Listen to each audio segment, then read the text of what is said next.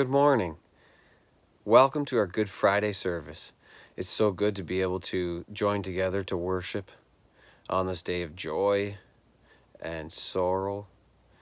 It's a it's a time to uh, to celebrate and to mourn. It's a a day of confession, for sure. We're so thankful that Jesus died on the cross for us. And uh, it is also quite sobering to, to think that uh, we deserve we deserve to be in his place on the cross in in hell but that he did that for us that he died for us that he spent 3 days out of the presence of God for us for our sake.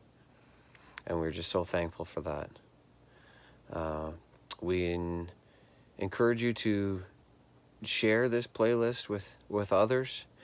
Um, in this this time of uh, hopelessness for some people we have uh, a deep sense of hope and joy that we need to share with others. I'd just like to remind you that um, easter sunday um, we will be taking part in the Lord's uh, Lord's Supper with Pastor Dan.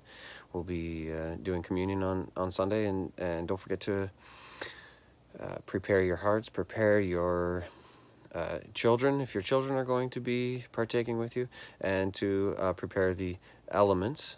Um, get some bread and wine or grape juice ready for yourself for, for this Sunday. Uh, let's join together with this call to worship, which is a litany. Um, I will be reading the uh, the first part, and uh, if you guys will please respond with the uh, with the bold parts, and uh, we'll go through this call to worship together. Grace and peace to you from him who is, and who was, and who is to come, and from the seven spirits before his throne, and from Jesus Christ, who is the faithful witness, the firstborn from the dead, and the ruler of the kings of the earth to him who loves us and has freed us from our sins by his blood, and has made us to be a kingdom and priests to serve his God and Father, to him be the glory and power forever and ever. Amen. Love calls us here, the love of the crucified one. The love of Jesus refused compromise with the powerful. Love calls us here, the love of the crucified one.